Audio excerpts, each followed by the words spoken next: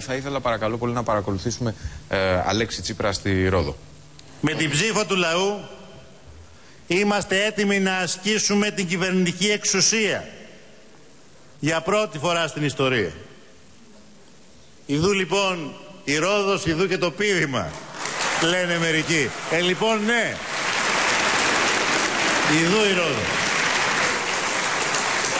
Και το πίδημα σε λίγες μέρες θα το ζήσουμε με την όθηση του λαού μας στην κάλπη στις 25 του Γενάρη. Ε, κυρία Μπόλαρη, πρέπει να ομολογήσουμε ότι πολλοί αυτό το πίδημα ακριβώς ε, φοβούνται.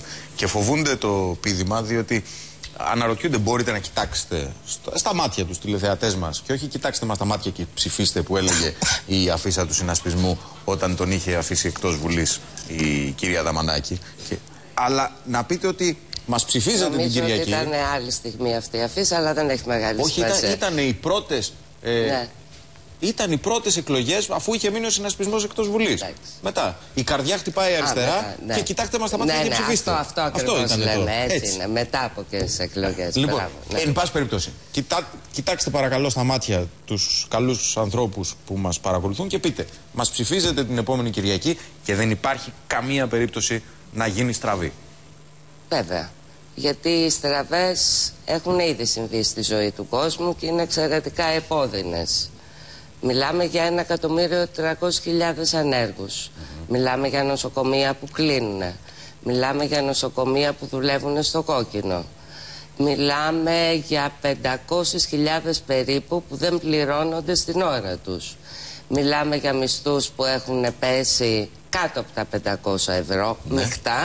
Μιλάμε για τα μία που επίσης είναι στο κόκκινο. Ναι, αλλά... Μιλάμε, μιλάμε, μιλάμε. Μιλάμε, μιλάμε. μιλάμε. Ναι, ναι, αλλά οι άνθρωποι που τα κάνανε αυτά είναι μισάνθρωποι ή προσπάθησαν κάπως να σώσουν μια κατάσταση; Οι άνθρωποι αυτοί. Γιατί εγώ δεν πιστεύω ότι ο κύριος Σαμάρα ναι, είναι ναι. ένας σαδιστής άνθρωπος. Μα δεν τίθεται ζήτημα ούτε σαδισμού, ούτε μαζοχισμού, ούτε το οτιδήποτε άλλο.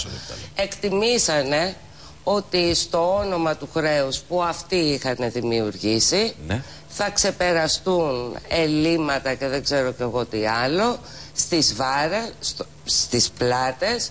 Αυτών που στην ουσία δεν είχαν καμία ευθύνη για τις επιλογές των προηγούμενων κυβερνήσεων. Και είναι και κάτι άλλο. Σε μια τέτοια κρίση σαν αυτή που περνάει το οικονομικό σύστημα θεώρησαν ότι είναι μια εξαίρετη ευκαιρία okay. να φτηνίνει εξαιρετικά η ζωή και η εργατική δύναμη. Αυτό.